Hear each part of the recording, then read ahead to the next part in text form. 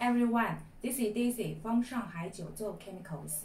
Today, our topic is how to choose the proper molecular sieve for oxygen concentrator.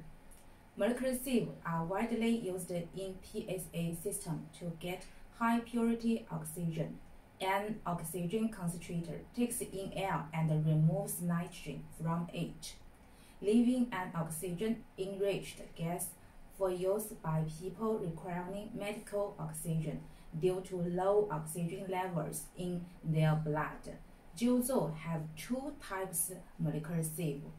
One is Jiuzhou OML and Jiuzhou OM9. In our life, we normally hear about 3 liter, 5 liter oxygen concentrator, and so on. But how to choose Jiuzhou molecular sieve for oxygen concentrator. Now, let's make an example for 5 liter oxygen concentrator. First, the purity.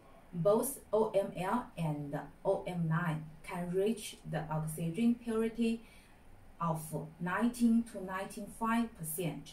Second, filling amount. If you want to get the same capacity of oxygen, for OM9, you should fill about 3 kilograms, but for OML, a 2 kilograms is enough, which can save the tank volume and filling about.